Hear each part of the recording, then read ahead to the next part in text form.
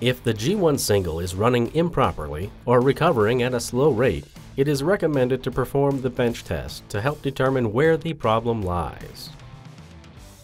Before starting the bench test, remove anything connected to the input or output fitting and make sure the filter screen is clean.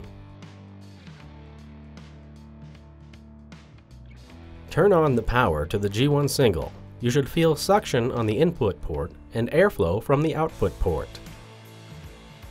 If the machine sounds like it's running normally, you can proceed with the test.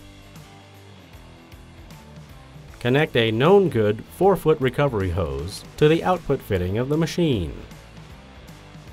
Then connect a known good valve core removal tool to the other end of the hose. Close the valve on the VCRT, then turn the machine on. The machine should build internal pressure and shut off at approximately 550 psi in roughly 60 seconds. Next, turn the machine off. While the machine is holding pressure, connect the other end of the VCRT to the input fitting, while the tool's valve is still closed. Once the tool is connected, open the valve. The gauges should equalize and hold pressure. There may be a small drop in pressure when opening the valve because the pressure is equalizing within the new connection.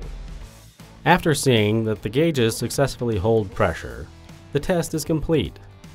Safely release the pressure by depressing the core in the access port of the VCRT.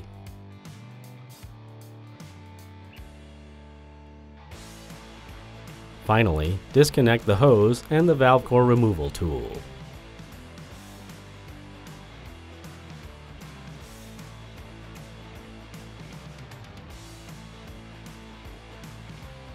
If the machine pressures up quickly and holds pressure as described, then the recovery speed issues are likely caused by something other than the G1 single.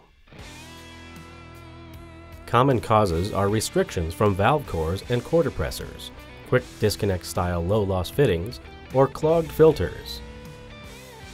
Liquid trapped in the system can also cause very slow recovery.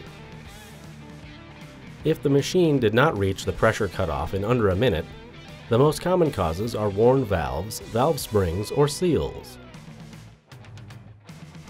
The lack of suction at the input, or airflow at the output, also indicates worn valves and springs. Valve spring replacement is a simple repair and will take about 30 to 40 minutes with the KTG 166R kit and basic tools. You can also call or email Appion directly with any questions, and the results of this test can help us quickly identify any other issues both internal and external to your recovery machine.